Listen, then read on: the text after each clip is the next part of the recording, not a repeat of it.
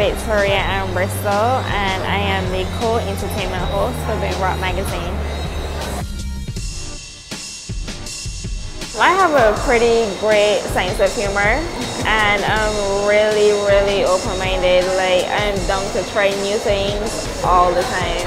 Like, I love to meet new people, and I love to hear their stories and hear about their struggles, and I really love to help people.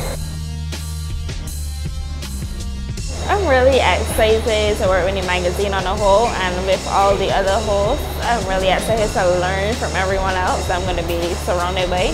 This opportunity has probably been like the best thing that's happened to me like thus far because like I can see this being with Benra as an opportunity to grow into the person that I want to be.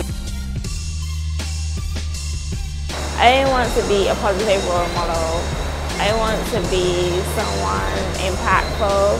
I want to be someone like when you are around me, like you can't be done. Like you, your parents could have just died because you just lost your house. Like you just had the worst day ever, but you're in the presence of Victoria and you just yeah.